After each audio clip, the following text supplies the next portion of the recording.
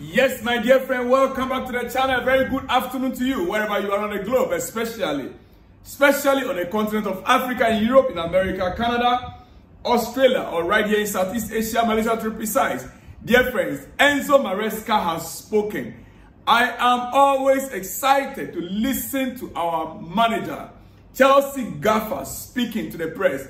And today's press conference was not different from the other press conferences. Dear friends, oh yes, not much different. And I will not be taking much of your time. I would like to go straight away to the issues. But you see, I don't know where to start from because he said a lot of things. Maresca spoke on Sanchez, the errors he made that led to the goal. As a matter of fact, today's press conference, he came in with Casadei, Cesare Casadei, yes. He spoke on Casadei's role as well. And he also touched on Dewsbury Hall. He spoke about many other issues, the playing style of Chelsea right now, and many other issues. But the truth of the matter is that Chelsea, we are making a headway. And I personally like the way our coach speaks. He's not the kind of coach that comes in to give excuses for no reason. He says it the way it is. And so this afternoon, dear friends, I'm here to let you know or to quote our coach verbatim to you. And I would like you to stay glued because before I let you go, I have a news for you on Victor Osimhen. Dear friend, but quickly, let's start with Enzo Maresca on keeping players happy. Yeah, to keep all these players happy, what we know, it's a hectic job. You have 24, 25 players, which is average. Every team in APL have 24 to 26. Even some have 28 players. Chelsea, we have, I think, 20, 25 currently, including Reece James. Now, minus Ben Chilwell. Just came into the group. So if you add Ben we are about 27. Yeah. But then keeping these players happy, sometimes it's a Herculean job. And so if you have a manager that is able to keep all these players happy, then you are good to go. Remember, one of the reasons why I made Cole Palmer to leave Manchester City was because he was not happy being on the bench. Coming on as a substitute. I mean, even making impact in substitutions. When he comes on as a substitute, he still make impact. Cole Palmer. But he was never happy. That is why he chose to leave and come to Chelsea. And now he's having a regular playing time. The coach, Enzo Maresca, spoke on the players that are not in the first team, playing in the Premier League. You see, he touched on Christopher Nkunku, he touched on Misha. That's my of Mudryk. I'll get to order. But let's start the way he started. He said, Enzo Maresca on keeping players happy. This is what he said. We try to share minutes with all the players. In this moment, it looks like we have players playing in the Premier League and others in the League Cup or Europe. But in general, it won't always be like this. In general, it will not always be like this. You are playing in the Premier League now. Others are playing in a European competition. But in general, it will not always be like this. It will depend on your form. It will also depend on the opponent you are meeting in the next game. And it will also depend on the system Chelsea want to play. Your form, the opponent you are playing, and the system of formation Chelsea want to play. These are the things that will determine who plays in the next game.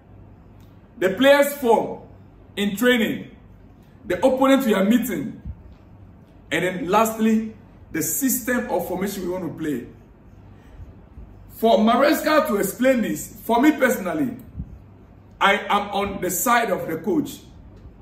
Otherwise, we will have a dressing room that, you know, unhappy dressing room. He continued on controlling of matches. Control of matches. This is what he said. He said, I was for sure more happy with the second half than the first half against Brighton. You see, where most of us, we thought the second half was a bad half. We, we never enjoyed the second half. based on the fact that Chelsea could not penetrate and score goals in the second half. The coach is saying in that second half, he liked that second half more than the first half. Even though we scored all our goals in the first half. You know why? He's a technical man. He has an eye to read details. In the second half, the game was more tighter. And he says sometimes we lack control, but we need to analyze the other team also like we need to analyze the other team also likes to control and attack. I don't know where I have the next one. He said, where he continued by saying, the plan that they had for Brighton, what they thought Brighton was going to do, they totally changed their tactics and information. Brighton came and they played totally different thing. And so they, they also had to change or tweak what they plan to do in order to overcome Brighton. uh, Maresca, my head coach, my manager. You see, like I told you, Casadei was a player that Maresca came in today to speak to the press. But before I go to that, he was asked a couple of questions on Dewsbury Hall not being in the squad against Brighton. Dewsbury Hall not being in a squad against Brighton. Yeah. Maresca says Dewsbury Hall not being in a squad against Brighton was just a decision, but not injury situation. And he also said he has no regret about leaving Ben Chilwell out of the UEFA Conference League squad. No regret at all leaving Ben Chilwell out of the Conference League squad. As a matter of fact, he made it clear Ben Chilwell wasn't part of his plan initially. I mean, how, how much honest do you want your coach to be? What else do you expect him to say? Direct and honest. Sometimes it hurts, but you know, like they say, the bitter pills heals the wound. The bitter pills heals the wound. No beating around the bush. That is Enzo Maresca for you. Now on Casadei's rule, on Casadei's rule, he says, I think Cesare did very well in that game. He struggled in the beginning but finished well. We can see Cesare there again, no doubt. Means that tomorrow's game, he is one of the first names on the team sheet. Yeah. So he can pass on the ball understanding how he has to move can give us good things. For sure, we are going to see him again in that position. Cesare is more box to box. He likes to attack. I work with him at Leicester. He can do the other part, but needs to provide balance for the team. I think he can do that means that tomorrow we are going to be seeing Casadei mainly, hopefully, in the position of Enzo Fernandez. Oh, yes. When it comes to analyzing of games, you see, I like coaches that can look at individual players from different dimensions I like coaches that can look at a player. You know, the, the reality is that I don't know whether it was a request made by Enzo Maresca or it was a, from the sporting directors to have players that can play in multiple positions. But I think actually we are beginning to see the, the, the reason why and it's beneficial. Yes. From the statement of Enzo Maresca, I personally personally have realized that players that can play in multiple positions are more advanced. You know, they have more advantage. Even if they are warming the bench, even if they are on a, on a bench in every game, let's say a, a midfielder or a defender that can play right back, center back, center forward. I mean, DM, right back, center back, and defensive midfield such a player, if you are on a bench if you are on a bench of any team, you are more likely to play more games than players that play only in specific positions. Because if there's any reason, maybe an injury or something, or a red card, and a player needs to be changed, be it on a right back, center back, or a DM position, like we have right now, we have Renato Veiga. Yes, you have more advantage. Now, Enzo Maresca speaking about how we started the season. Enzo was asked, are Chelsea better than they were at the start of the season? And this is what he said. He said, if you analyze the results, if you analyze Chelsea's result, probably yes.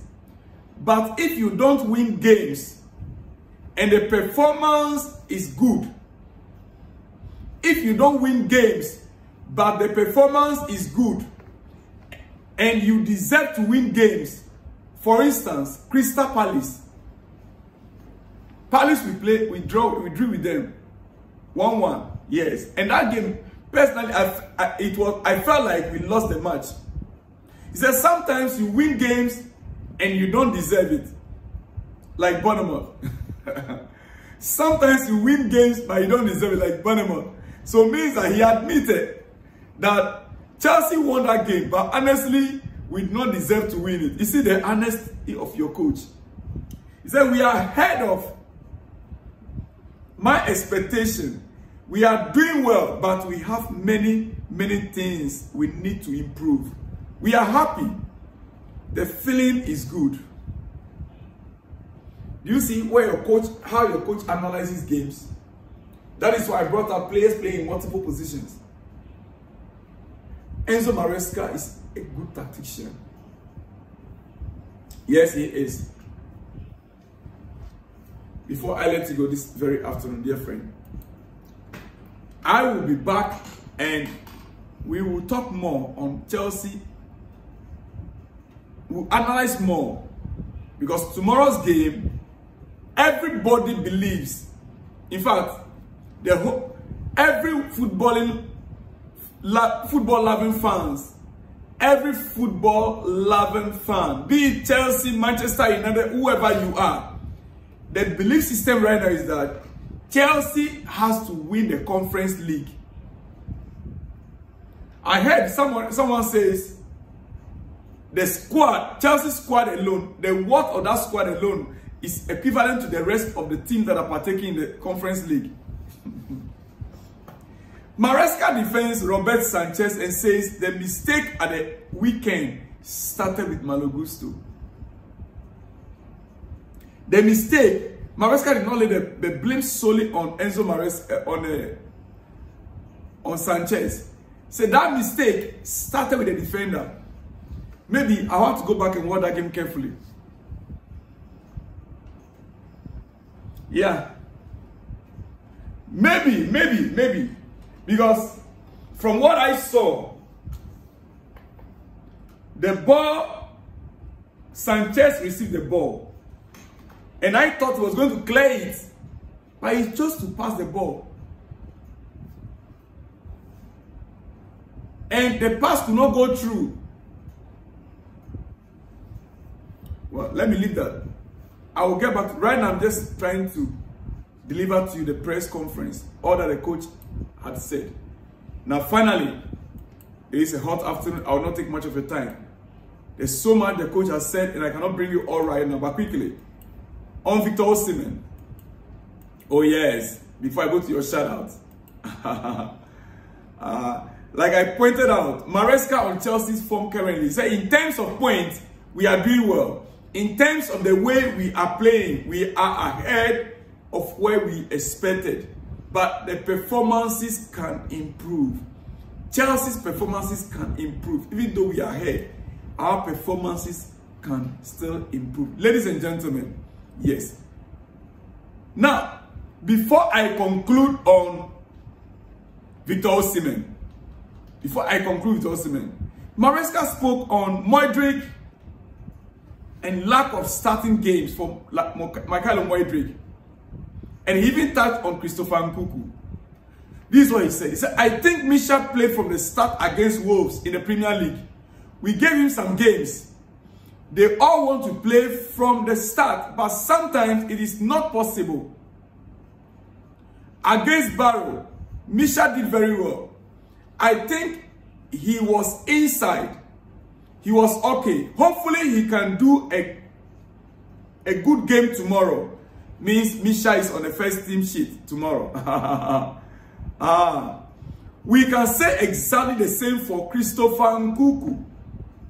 And listen to what he said again. He asked to Christopher Nkunku. He said, the club signed him as a big player. The club, Chelsea, signed Christopher Nkunku as a big player. They did not sign him to come and play in a conference league or to be on a bench. Chelsea signed Christopher Nkunku as a big player, according to Enzo Maresca. He knows this. He knew about it. Yet, means that this coach can be mean. Oh. He can be very mean. He's not looking faces at all. A player that was signed as a big player, you are keeping him on a bench or even playing just in there. He said the club signed him as a big player and at the moment, he is not playing in the Premier League. But things change quickly in football. Right now, the situation is this. But it doesn't mean it will be the same for all the season. Let's get to, let me conclude with Osimhen. Because this issue, I, I'll revisit this issue again on Victor Osimhen. Osimhen speaking for himself. Victor Osimhen, our man. Yes. You know, is it yesterday or a few days ago I spoke about Victor Osimhen coming to Chelsea in January. And I made it clear, Chelsea have not given up on Victor Osimhen. They are still monitoring things, watching the situation carefully. And hopefully, hopefully, the January transfer window, that will depend on Nicolas Jackson's performances and the team's performance in general. Victor himself came up and speak. And this is what he said. I mean, he declared himself boldly that he's worth more than 100 million euros. Victor Osimhen has boldly declared his own price tag, insisting his transfer value should be in excess of 100 million euros. What do you think? He is declaring it by himself that his transfer value should be in excess of 100 million euros. If you read the statement carefully, he gave reasons why. He, he spoke about his strength, his ability and capability, his style of play, and his personality. He even added his personality to it. That is Victor Osimhen for you. That is my man. I like his boldness. I like his confidence. You have to believe in yourself to achieve great things. You have to believe in, listen, if you don't believe in yourself, nobody will believe in you. Believe in yourself, then you can achieve great things. Dear friend, Victor Osimhen speaking. Now, quickly to some shout out before I let you go. Yes. Some shout out. The first one this guy went into my archives. David Wanderson. David from Ghana. You, you dig into my archives and brought out my first, one of my first videos when this channel started. Whoa. David, he said, I love you so much. I wish I was there this time to support you. David from You wish you were there when we, when, I, when we started the channel. My goodness. And he continued, nice one. Another video again, the different one. Then the third one, wow, David. Big shout out to you, David from Ghana. I appreciate, I really appreciate a lot of messages from him. He said, wow, nice your start. God bless you. I'm David from Ghana. You see the way I started. Guys, you can go back to my first videos. They are all there. They are how we started it all. David went in and said, wow, this how you started. Yes. And he even went to my second channel, Malaysia, a drive through Kuala Lumpur, part two. Really? Malaysia, drive through Kuala Lumpur, part two. Yes, it's also there. When you go to my first, you know, my first videos, how it's about let's just say about eight, nine months ago, you see this, a drive through Kuala Lumpur, part two, part one, part two. Quite, you know, these videos link will link you to my second channel. This video will link you to my second channel. Yeah. All right. Abba Francis Abba says ex-player can talk about the current players if they are not doing well on the pitch. But there should be a way of saying things when it comes to players' attitude on the field. It shouldn't be a direct talk on that player.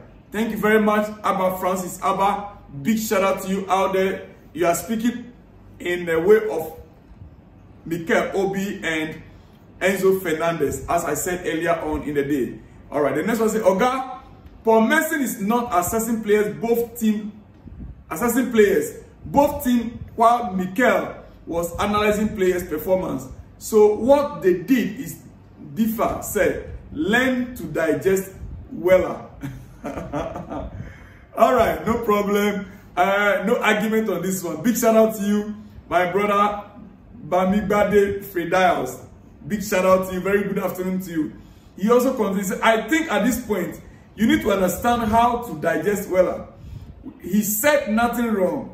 What he said is exactly what people are saying about Enzo. Enzo is performing below his price tag. I listened to it live and there is nothing wrong. Didn't you hear the part when he spoke about Caicedo? Said, be careful with your emotions. Really? Should be careful with my emotions. No problem. Your point is well received. Big shout out to you out there, Bamibade Fredios. I believe, just as you listen to him, I also brought a comment from people from that page from Mikel Obi podcast, I brought the about 90% of comments there. Then you understand. We, uh, we don't, you see, well, we that are in today's, we don't look at issues from emotional aspect. No. We don't look at it from nationalistic aspect or ethnocentric aspect. No, we look at it objectively as it's supposed to be. So please do not misunderstand me. You go to the, the page, Mikel Obi's page, the comments that are there, then you know what I'm trying to put across. Anyway, big shout out to you, my brother Fridaus in Nigeria. NBC UK says, please, I'm not sending my Kayla to, but sometimes somebody may say what she knows because he is a player you and me, that what a match we have, never played a football, you understand it in a different way out. But anyway, that's not a problem. And you see, exactly the reason why I said people like him should not be over criticizing or even if you want to do it, you have to be very objective. Because he has been there. He knows what it takes like to be in that position that these players are right now. Big shout out to anyway, NWC from Nigeria. Patrick Olewanke says, when will you leave Mikel Obi alone? You have your own podcast. Mikel has his own. Are you rivaling him for popularity? Mikel knows in and out of Chelsea than you. It is his own club. Really? Because he played in a club. It is his own club. This is the understanding. Because he was, he played for Chelsea and he was paid So we that have not played for Chelsea and we were not paid by Chelsea, it's not our club. I will tell you that he rather he did he worked for Chelsea and he was paid for the job he did. So I can boldly say he might not even like Chelsea. I can say I can tell you that he, he, he did not even like Chelsea. He did not love Chelsea the way I do. Because I am not being paid, but I'm giving my best for the club. I'm fighting for the club than someone who is being paid to love the club. Mikel was paid to play for Chelsea. Did he play for Chelsea for free? So the club is never his. It is we the fans. We have the club. He played for Chelsea for the money. Oh yes, he played for Chelsea for the money.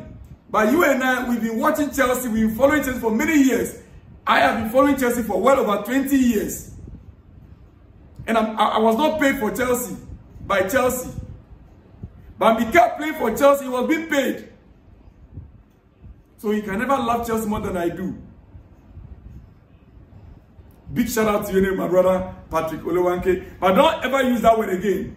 That uh, it is his own club. It can never be his own club. He was paid for the job he was doing for Chelsea. If he had done it for free, like we have been following Chelsea for free all these years, including you, Patrick. Big shout out to my brother. He, he, and he continues said there are other podcasts that criticize Chelsea players, but you have never talked or angry with any one of them. Why? Leave Mikel alone on his business, please. You see, the anger you want to go, I will not argue with you any longer. Ananias Manga says, Good morning, Mr. Selon. Seriously, we are going to win this, ten, this team. Win. This, this team, but they are also good in scoring, but poor in defense. Yes, yes. Uh, Ghent, they are good in scoring goals, but they are weak in defense as well. That is true. My brother out there. Anyway, uh, Ananias Manga. On that note, dear friends, big shout out to you guys all. Have a great afternoon. I'll see you in the next one where you see me. Shalom and peace.